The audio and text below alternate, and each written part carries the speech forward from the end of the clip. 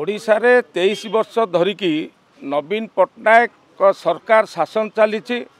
ଦୁର୍ଭାଗ୍ୟର କଥା ତେଇଶ ବର୍ଷ ଭିତରେ ଚାଷ ଜମିକୁ ଜଳସେଚିତ କରିପାରିଲେ ନାହିଁ ଏଥିରେ ସମ୍ପୂର୍ଣ୍ଣ ଭାବରେ ବିଫଳ ହୋଇଛନ୍ତି ରାଜ୍ୟ ସରକାର।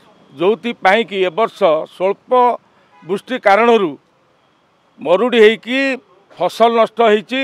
ଫସଲ ନଷ୍ଟ ହେଇକି ଚାଷୀ ଆଜି ଓଡ଼ିଶାରେ ଗୋଟିଏ ମାସ ଭିତରେ ଏ ମାସ ତିନି ଜଣ ଚାଷୀ ଆତ୍ମହତ୍ୟା କରିଛନ୍ତି। ଯାଜପୁର ଜିଲ୍ଲାର ଧର୍ମଶାଳାରେ ନିତ୍ୟାନନ୍ଦ ପରିଡ଼ା ଚାଷୀ ଏବଂ ନୟାଗଡ଼ ଜିଲ୍ଲା ରଣପୁରର ଗୋବିନ୍ଦ ସାହୁ ଚାଷୀ ଏବଂ ବଲାଙ୍ଗୀର ଜିଲ୍ଲାର ଆମର ରମେଶ ଭୋଇ ତିନି ଜଣ ଚାଷୀ ଏ ମାସକ ଭିତରେ ଆତ୍ମହତ୍ୟା କଲେଣି ଫସଲ ନଷ୍ଟ କାରଣରୁ ଏବଂ ଋଣ ସୁଝିବା କାରଣରୁ। ଆଜି ତିନି ଜଣ ଚାଷୀ ଆତ୍ମହତ୍ୟା କରିଛନ୍ତି।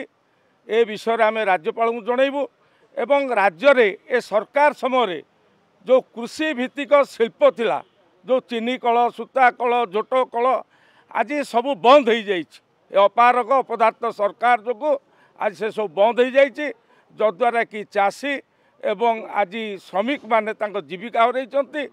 ତା ସହିତ ଆମର ରାଜ୍ୟରେ ପଶ୍ଚିମ ଓଡ଼ିଶାରେ ଧାନ ଅମଳ ମାସକ ତଳୁ ସରିଥିଲେ ମଧ୍ୟ ରାଜ୍ୟ ସରକାର ବର୍ତ୍ତମାନ ସୁଦ୍ଧା କୌଣସି ମଣ୍ଡି ଖୋଲିଲେ ନାହିଁ ଯଦ୍ୱାରା କି ଚାଷୀ ଆଜି ବାଧ୍ୟ ହୋଇକି ତାର ଫସଲକୁ ତାର ଧାନକୁ ସେ ଦଲାଲମାନଙ୍କୁ ବିକିବା ପାଇଁ ବାଧ୍ୟ ହେଉଛି ଆଜି ଆମେ ଏ ବିଷୟ ମଧ୍ୟ ରାଜ୍ୟପାଳଙ୍କୁ ଆମେ ଦୃଷ୍ଟି ଆକର୍ଷଣ କରିବୁ ଏବଂ ତୃତୀୟ କଥା ହେଉଛି ଚାଷୀମାନେ ଯେଉଁ ଫସଲ ବୀମା ଯୋଜନା ଯେଉଁ କରିଥିଲେ ବରଗଡ଼ ଜିଲ୍ଲା ବଲାଙ୍ଗୀର ଜିଲ୍ଲା ଏମିତି ବହୁତ ଜିଲ୍ଲାରେ ଆଜି ଚାଷୀମାନେ ଫସଲ ବୀମା ପାଇବାରୁ ବଞ୍ଚିତ ହେଉଛନ୍ତି।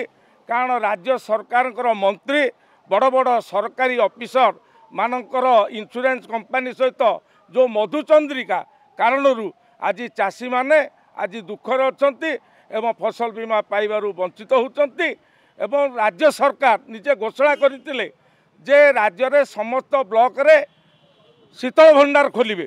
କିନ୍ତୁ ଆଜି ଦେଖାଯାଉଛି ଯେ ଦୁଇ ହଜାର ମସିହାରେ ନବୀନ ପଟ୍ଟନାୟକ ଯେତେବେଳେ ସରକାରକୁ ଆସିଲେ ସାରା ରାଜ୍ୟରେ ଶହେ ବାରଟି ଶୀତଳ ଭଣ୍ଡାର ଦୁଇ ହଜାର ମସିହାରେ ଥିଲା।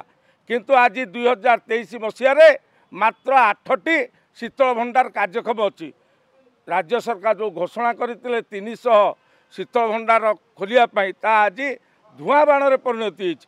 ଏ ସରକାର କେବଳ ଘୋଷଣା ସର୍ବସ୍ୱ ସରକାର ଏ ସରକାର ଚାଷୀ ବିରୋଧୀ ସରକାର ଏ ସରକାରର ଚାଷୀ ବିରୋଧୀ ମନୋଭାବ ଉପରେ ଆମେ ମାନ୍ୟବର ରାଜ୍ୟପାଳଙ୍କର ଆଜି ଦୃଷ୍ଟି ଆକର୍ଷଣ କରିବୁ ଏବଂ ଏ ବାବଦରେ ଦାବି କରିବୁ ରାଜ୍ୟ ସରକାର ତୁରନ୍ତ ଯଦି ଏସବୁ ଆମର ଚାଷୀ ସମସ୍ୟା ଏବଂ ଆମ ଦାବିକୁ ଯଦି ପୂରଣ ନ କରନ୍ତି କାର୍ଯ୍ୟକାରୀ ନ କରନ୍ତି ତାହେଲେ ଆଗାମୀ ଦିନରେ ବିଜେପି କୃଷକ ମୋର୍ଚ୍ଚା ତରଫରୁ ବ୍ୟାପକ କୃଷକ ଆନ୍ଦୋଳନ କରାଯିବ।